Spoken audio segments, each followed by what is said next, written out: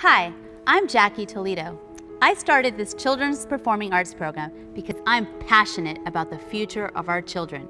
We need to invest in our schools and early education programs to help children succeed and build an economy that provides successful career opportunities.